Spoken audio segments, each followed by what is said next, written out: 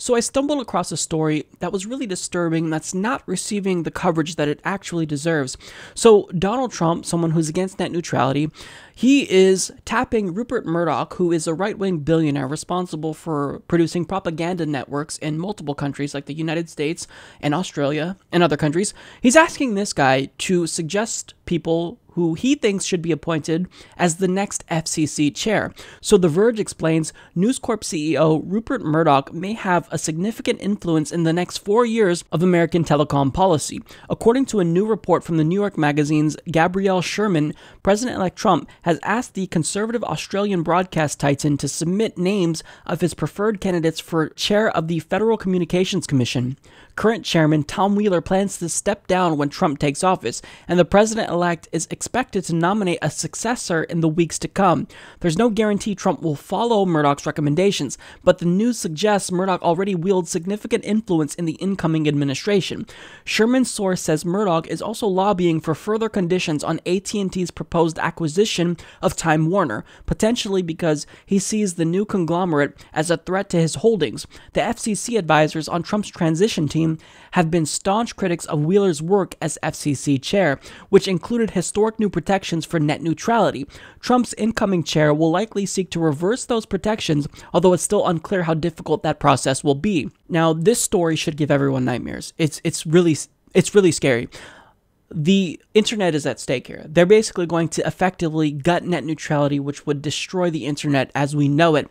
Now, this isn't just about the internet. What they're trying to do is get people to the FCC who will be friendly to the idea of allowing these large mergers between, for example, Comcast and Time Warner, which has not been allowed thus far. Now, when I say that the freedom of the internet is at stake, I'm not being hyperbolic here. Currently, internet service providers are required to be neutral in their delivery of internet services. So, for example, if Comcast sees Netflix as competition, well, they're currently not allowed to slow down Netflix's streaming service since they're required to treat everyone neutral. It's called net neutrality. So, if Republicans get their way, then what Comcast can do is they can then strangle the internet services of uh, Netflix, and then they could propose an alternative and say, well, look, Netflix, they're slow all of a sudden. Why don't you come to the new Comcast version of Netflix and then they'll profit extremely well from that. And so it's a way to cut off competition.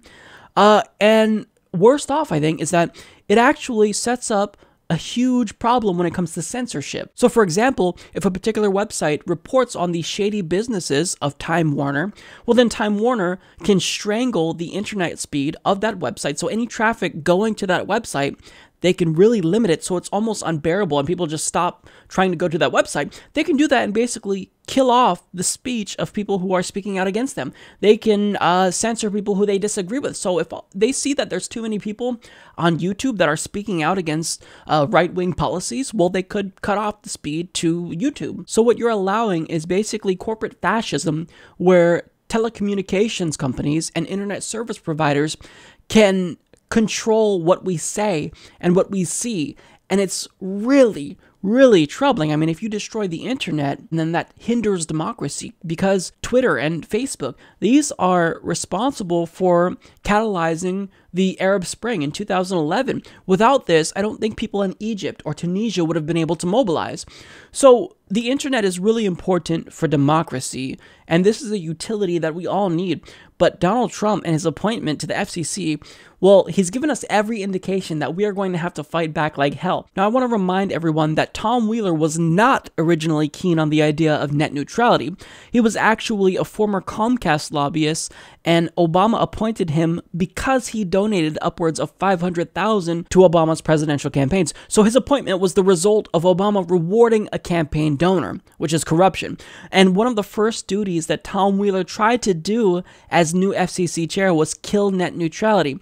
But Tom Wheeler's plan never came to fruition, and that's because when he announced new rules that would create fast lanes for certain companies, uh, basically gutting net neutrality, well, he was met with resistance that he's never seen before. So, for example, people literally showed up to his house and refused to allow him to leave to go to his job at the FCC uh, when he announced that he was going to betray America.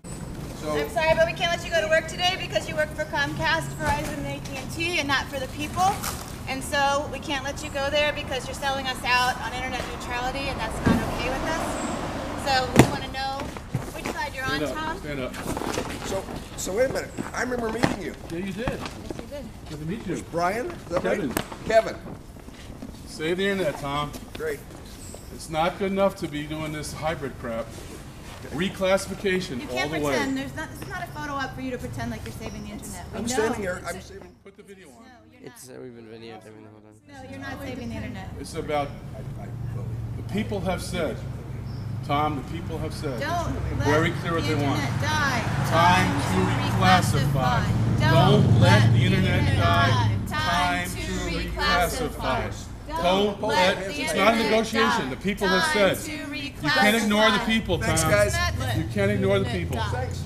I Don't let the internet coming by. die. No, We're sticking around. we're not- too. You're we're sticking leaving. around. We're sticking around. So what am I supposed to do? I, That's I your know. problem. That's your problem. We don't think you're working for us right now. You're working for, the, um, for Comcast. We're it's not to save Comcast. It's not the same. Com- Which side are you on, Tom? I'm on your side. can- I'm Which on side you're you on our side.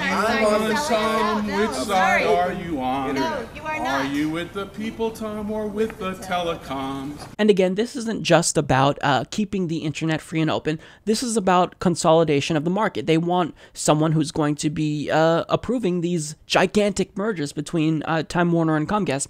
But I just have a very uh, important message to whoever is Donald Trump's FCC chair. If you plan on destroying the internet, guess what you have to look forward to? Grassroots resistance on a level that you've never seen before because we will do everything in our power to stop you.